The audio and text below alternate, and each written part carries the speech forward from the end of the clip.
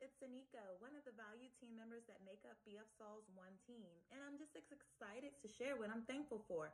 As I look back over this past year, 2020 has definitely been a challenge. It brought forth a lot of nuances and a lot of uncertainty.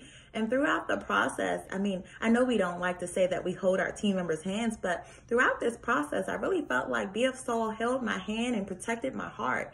Um, going through just understanding what COVID 19 was, trying to protect both me, myself, and my family, um, BF Saul definitely rest assured that we would be safe, we'll be protected, making sure that we had the proper PPE equipment um, when we're going back and forth to work, make sure we had our letters just in case we were stopped during the time where there was um, a shutdown and restrictions placed on traveling and um, movement.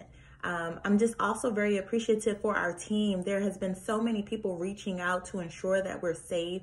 Um, the way that things were handled um, during layoffs, furloughs, and even though it was a time in which, you know, it's unheard of, you know, we weren't really expecting it. We were looking forward to such a prosperous year, but everything was truly handled with care.